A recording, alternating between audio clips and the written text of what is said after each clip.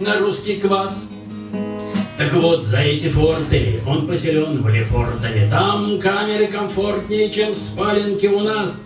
Он, вишь, думал, будет орден и летел, как на парад. Здесь же налетел на ордер наших аристократ, а, впрочем, этот Матиас не более чем лоботряс. И ему отец и брат наш советский адвокат. Свидания не хотите ли? И вот летят родители, Чтоб каменные обители обнять свое дитя.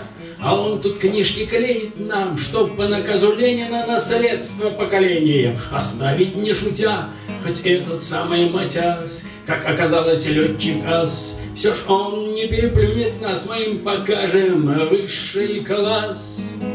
Прилетайте, сыночки, с копом или иначе, Всех мы тут и выучим, и к своим зашлем. У нас страна огромная, поля аэродромные.